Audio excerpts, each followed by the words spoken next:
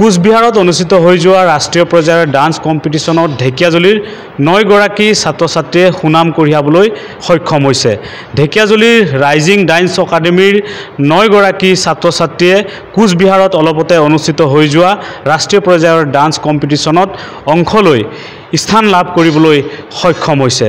ঢেকীয়াজুলিৰ নৈগৰাকী ছাত্ৰ ছাত্ৰীয়ে ৰাষ্ট্ৰীয় পৰ্যায়ৰ যি ডান্স কম্পিটিশ্যনত সুনাম কঢ়িয়াবলৈ সক্ষম হৈছে। আৰু আজি এইসকল ছাত্ৰ ছাত্ৰীক সম্বৰ্ধনা জনোৱা হৈছে ঢেকীয়াজুলিৰ ৰাইজিং ডান্স একাডেমীৰ উদ্যোগত। আৰু মই পোনে পোনে সেইসকল ছাত্ৰ ছাত্ৰীক দেখুৱাম। এয়া হৈছে ঢেকীয়াজুলিৰ ৰাইজিং ডান্স একাডেমীৰ ছাত্ৰ ছাত্ৰী কোচবিহাৰত অলপতে অনুষ্ঠিত হৈ যোৱা ৰাষ্ট্ৰীয় পৰ্যায়ৰ ডান্স কম্পিটিশ্যনত অংশগ্ৰহণ কৰি ঢেকীয়াজুলিৰ ৰাইজিং ডান্স একাডেমীৰ এইসকল ছাত্ৰ ছাত্ৰীয়ে সুনাম কঢ়িয়াবলৈ সক্ষম হৈছে।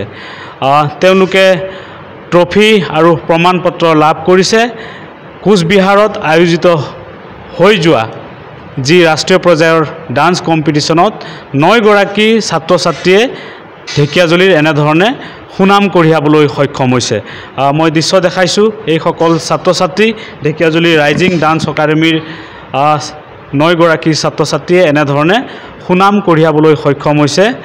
ৰাষ্ট্ৰীয় পৰ্যায়ৰ যি ডান্স কম্পিটিশ্যনত অংশগ্ৰহণ কৰি এনেধৰণে সুনাম কঢ়িয়াই আনিছে ঢেকীয়াজুলিলৈ। মই কথা পাতিম ইয়াৰ যিগৰাকী পৰিচালক ঢেকীয়াজুলি ৰাইজিং ডান্স একাডেমীৰ তেখেতৰ সৈতে। কি ক'বা?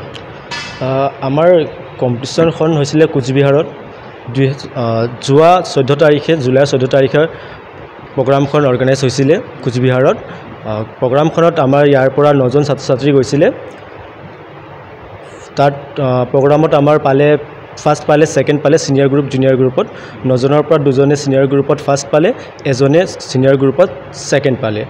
চাৰিজনে জুনিয়ৰ গ্ৰুপত ফাৰ্ষ্ট পালে দুজনে জুনিয়ৰ গ্ৰুপত ছেকেণ্ড পালে। হয় ডান্সৰ হয়।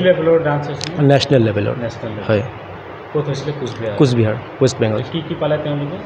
তেওঁলোকে ট্ৰফি পালে চাৰ্টিফিকেট পালে আৰু লগতে ফাৰ্ষ্ট যিবোৰ ফাৰ্ষ্ট পালে উইনাৰ হ'ল সিহঁত দুজন উইনাৰ হ'ল জুনিয়ৰ গ্ৰুপত উইনাৰ এণ্ড ছিনিয়ৰ গ্ৰুপত উইনাৰ এনেকৈ আমাৰ মিলোৱাইখিনি নজন আছে টোটেল তোমাৰ ৰাইজিং ডান্স একাডেমী হয় ঢেকাজুৰি ৰাইজিং ডান্স একাডেমীৰ হয় গোটেইখিনি কিমান দিনৰ পৰা চলাই আহিছে? আমি দুহেজাৰ সোতৰৰ পৰা চলাই আহিছোঁ স্কুলখন। দুহেজাৰ হয়। এইবাৰ কেইজনে পাৰ্টিচিপেট কৰিছিলে? আমাৰ স্কুলৰ পৰা নজনে পাৰ্টিচিপেট কৰিছিলে সেই নজনে চাৰ্ট পালে। স্থান লাভ কৰিছিলে হয় স্থান লাভ কৰিলে।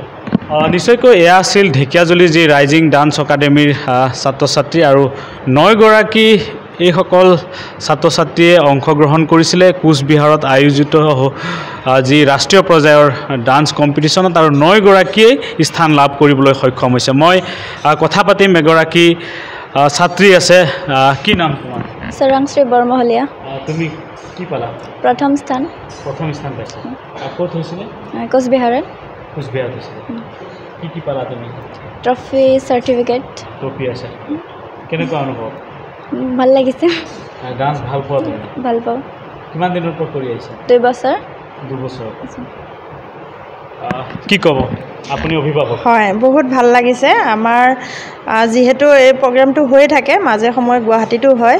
তো এইবাৰ নেশ্যনেল হৈছিল কোচবিহাৰত। আমাৰ বহুত ভাল লাগিছে। আমাৰ স্কুলখনৰ পৰা যিকেইজন গৈছিল গোটেইকেইজনে ফাৰ্ষ্ট থাৰ্ড ছেকেণ্ডত চিলেক্ট হৈ আহিছে। বহুত ভাল লাগিছে। হয়।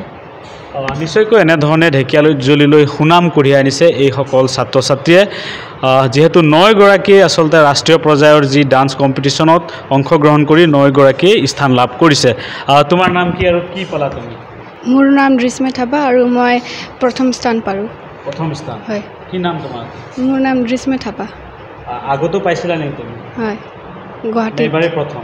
নাই গুৱাহাটীতো পাইছিলোঁ বেষ্ট এৱাৰ্ড। গুৱাহাটীতো পাইছিলা? হয়। এইবাৰো পাইছা? হয়। কি নাম তোমাৰ? অঞ্জনা বড়ো। কি পালা তুমি? ছেকেণ্ড ছেকেণ্ড ডান্স ভাল পোৱা? ভাল পাওঁ।